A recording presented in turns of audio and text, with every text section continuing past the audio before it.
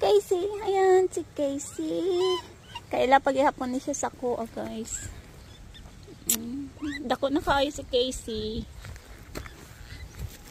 Ini Casey.